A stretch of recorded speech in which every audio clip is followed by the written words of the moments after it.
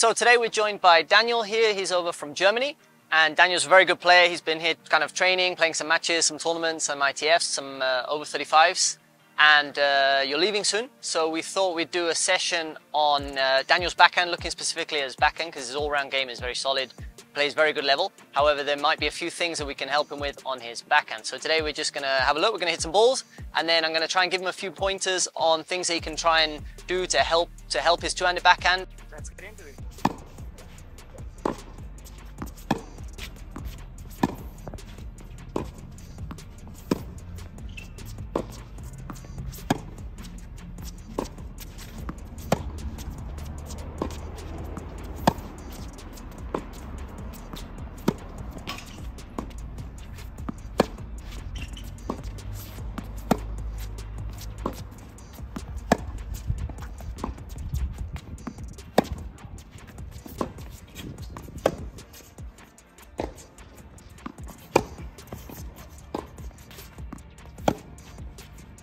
Like we I've done with loads of players that, regardless of the level, and that's just learning to use the left hand a little bit, let's say smoother, yeah?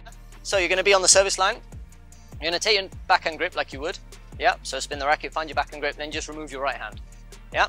And then the goal is actually not to hit a left-handed forehand, but to have the right swing path with your left hand.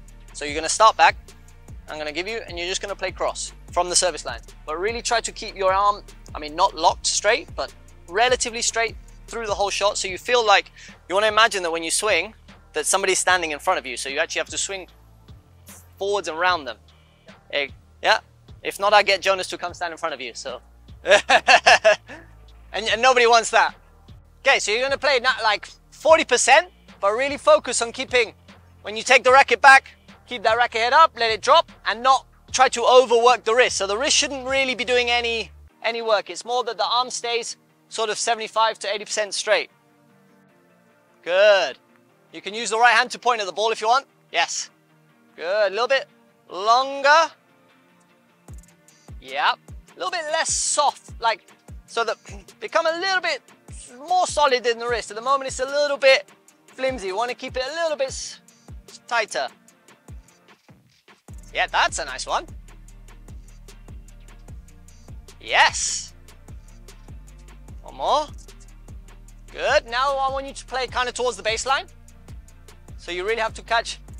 Yes, good. Keep the follow through good as well. Yeah, that's a nice one. Good. Same thing. You're going to put your right hand now, but it's going to do nearly no work.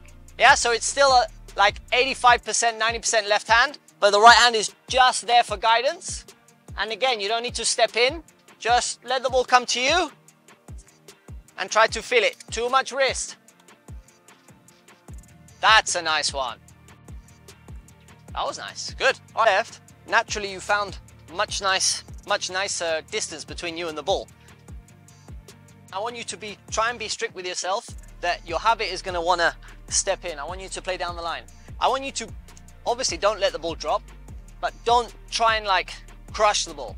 Like you don't need to take it on the bounce or anything. So wait for it so it gets in the right height, let it come, and I want you to play down the line without using the body to kind of like push it down the line. You know what I mean? So I want it, wait for it, wait for it, and then hit it nice and strong and relatively flat. Yeah? So that you get into the feeling of waiting for it and lean with the body without like running into the ball. Yeah? And you're just gonna play down the line. Okay, vamos. All like this. Yes, wait even more. Make sure you have an, oh, sorry. Now, oh, nice. So you have more distance. That's the one. Don't crush it. Oh, nice. Too much spin. More flat. Yeah, yes, that's the one. Try to take the hands a little bit higher. Because a lot of time they're here on the hip. Try to take them sort of around shoulderish height. It's, it's it might, I mean, it's similar to if, if you were taking the racket back like this on the forehand, it would also be quite difficult. Whereas you want it, I mean, again, not super high, but you want it around this height. Same on the backhand. So sometimes they're nearly in your pocket. So try to get them, this, everything the same, but just fractionally higher. So around chest height. Yes. Yes, yes, yes, good, good, good. That's it. Nice. Because I get the feeling that when you play here, it's like because the hands come from down, you need to them close too soon. Whereas if they're here, naturally, you obviously want to close, but that you're not doing this part. Yes, nice. That's a nice one. Yes, careful you don't run into the ball too fast. That's the one, much better. Swing your backhand. A little bit slower if you can. Okay, Just take it back one sec. Yes, and then, if you don't mind, yeah. as you go to, uh, let go of actually the right one. The right one's fine. So now go to swing. Slowly, slowly, right, stop. So here, try to let go of the right, so let, let that one. But you feel like this part of the ball, uh, this part of the movement, sorry, the swing, a little bit more. So yeah. that racket head, really the tip of the racket goes, and instead of closing, that way. So the wrist, yeah, exactly, there we go. So the, the close is like an after uh, part, it's not the main movement. Yeah. Like you swing forwards and then the racket closes. Yeah. And then you should get a little bit, exactly, because it, sometimes it's like, it's forced, yeah. It's a forced close. And same like in the kick serve, forehand, when you want more spin, if you try to force it, the ball actually loses energy, it doesn't bounce, and if you just relax and you let the like the natural movements of the body flow a little bit more. And it's the same on the backhand. It just like, just let it go and then let it close. Vamos. A little bit close. Now you're starting to go into the ball a little bit more. Be calm.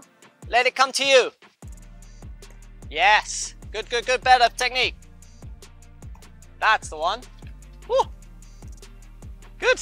So what happens sometimes when you move in too fast or step in the court, which can be a mistake that people make, they want to take time away, which is great. But if you're taking time away and your legs aren't like planted well, then you're not getting that much benefit out of taking the ball early because you're losing energy. So if you're in a good position, then all the energy that you're creating with your legs and everything is coming up through your hands, through the ball. But if your legs aren't planted, then there's no stability, there's no foundations in your, like, in the strength that the shot is coming from, which I think was happening a lot on the forehand. You set up, you wait, bam, you go. Even if you step in, you step in and out, but you set, wait, hit. It's like if you were trying to play forehands jumping. You know, you wouldn't get the same power than if you start from the base. And it's the same thing on the backhand when you rush, you lose the technique, you don't have the same foundations, whereas you let the ball come, again, don't we don't want to let it drop, step in if we have the chance to, but the foundations are good, and then you can hit a much cleaner shot.